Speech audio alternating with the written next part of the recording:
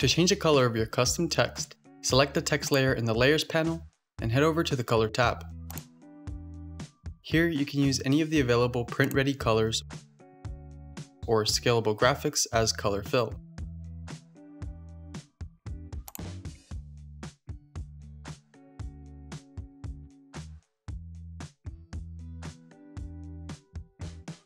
To change the rotation of your text, you can click and drag the middle handle of the bounding box in the preview area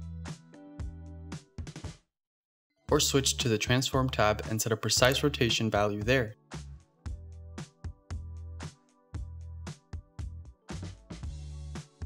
You can also use the preview area to manually adjust the position of your text layer. Alternatively, you can switch to the position tab and use the alignment icons to set a precise placement for your text design in the safe print area.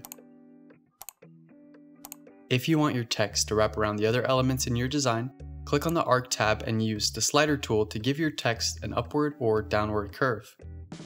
To make your text design more prominent, head to the Outline tab. Here you can add a colorful outline to your text and adjust it with the weight slider.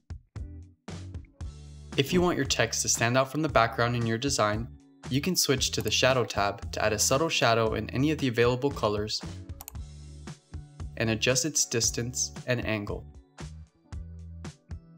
I hope you found this video useful.